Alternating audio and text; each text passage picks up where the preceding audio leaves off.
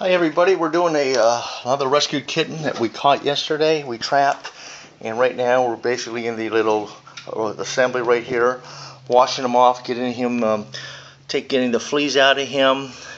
Uh, got him in a little bucket with some warm water, and my wife Brenda is getting him all cleaned up, and then we're gonna bring him inside, give him one more little bathing, and then we're gonna get him all dried off, cleaned up, make sure he has everything, give him some medicine for any worms, and then we're gonna put him in there with the other little rescued kittens, and um, we have two of them that we've taken to find uh, get adopted. We took another, the mother of these kittens, got her spayed and spayed yesterday, so that will prevent the overpopulation.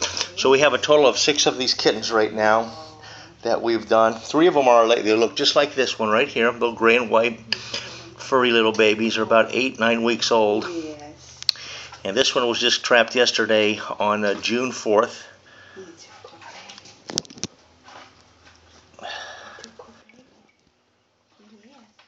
On June 4th, 2013.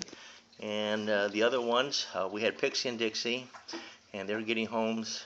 So we're down to four more here that we're going to rehabilitate, get them all friendly. As you can see, this one is very friendly for basically being trapped Tried yesterday.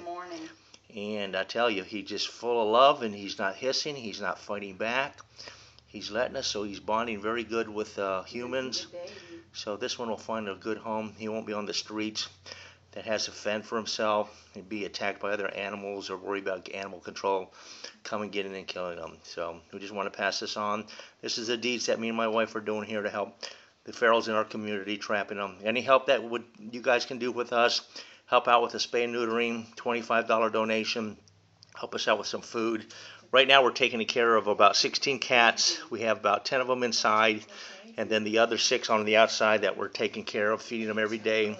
So it's kind of a monotonous thing then for us trying to deal with our lives and our work ethics. So we would appreciate any help you can give us. Thank you so much. And here's my wife Brenda. Yep. And we'll go leave it at that. Thank you.